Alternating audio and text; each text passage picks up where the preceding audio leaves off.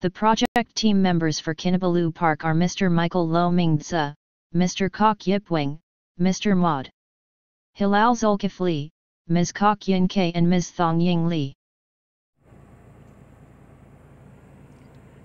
Kinabalu National Park is the first national park of Malaysia since 1964, which covers an area approximately 754 square kilometers. Incorporates between two mountains.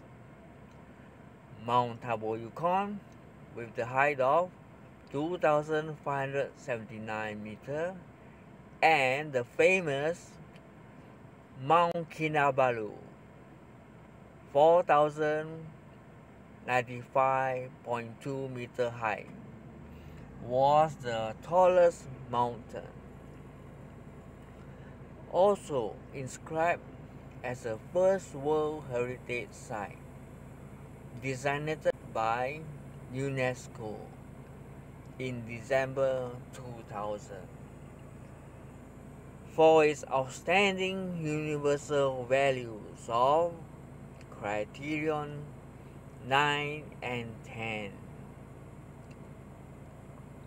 The 130 million year old nature sanctuary that is home to unique flora and fauna, such as the largest flower in the world, the Rafflesia, features with six unique major topographical characteristics of the summit slope and four climate zone.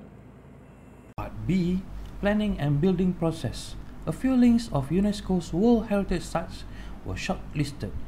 Kinabalu Park was chosen and Padlet report URL was prepared.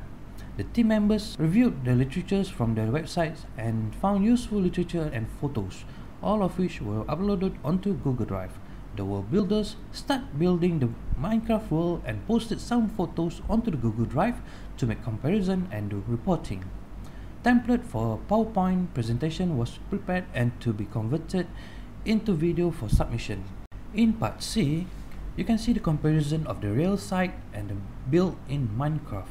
The following are the brief illustration of the comparison. On your left side is the aerial view of the real Kinabalu Park and on your right side is the, aerial view of the Minecraft Kinabalu Park. And on the next slide, you can see the real site view and the Minecraft view.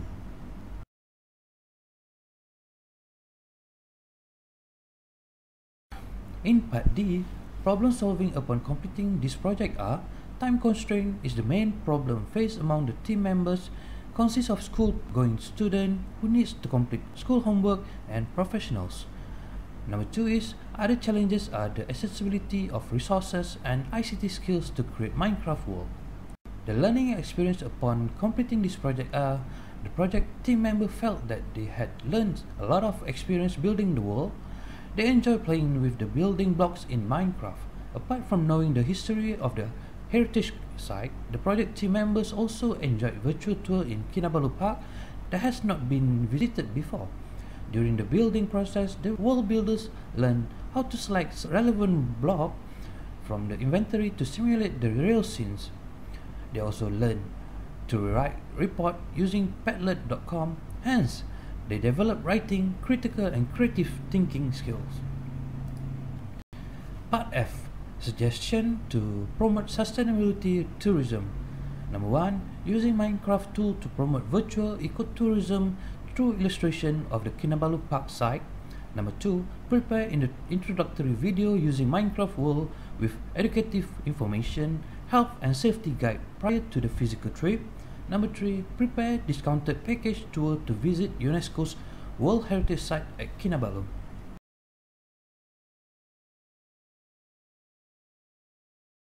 In part G, you can see all the bibliography and acknowledgement. We wish to acknowledge the organizer and supporting partners of the event. Thank you and let's take a brief tour.